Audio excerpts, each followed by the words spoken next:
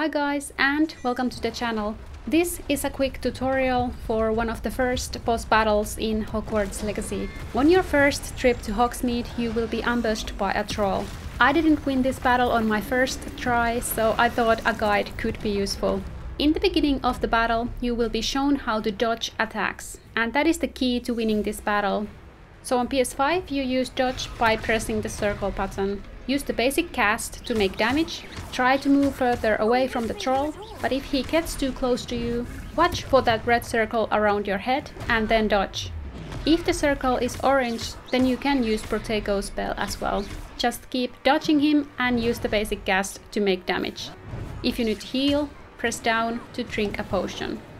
You can also throw things at him with the ancient throw if you want to be fancy, but the basic cast will be enough. And when you have made enough damage to the troll, the game tells you to press L1 and R1 to invoke ancient magic. Do that and the battle ends. Hope this helps and see you in the next one.